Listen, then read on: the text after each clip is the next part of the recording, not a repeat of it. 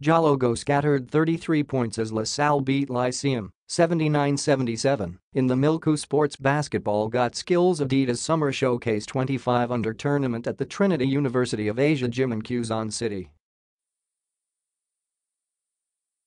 Go was on fire as he hit seven triples in the game as the Green Archers clinched their first win in three games. Errol Bongay had 16 points and 8 rebounds, while Gabe Capacio had 9 points for the Green Archers. University of the East beat Far Eastern University 50-47 to improve its record to 3-1. Mark Maloles led UE's balanced scoring attack with 7 points. L-Jay Gonzales had 16 points for the Tamaraws in a losing effort.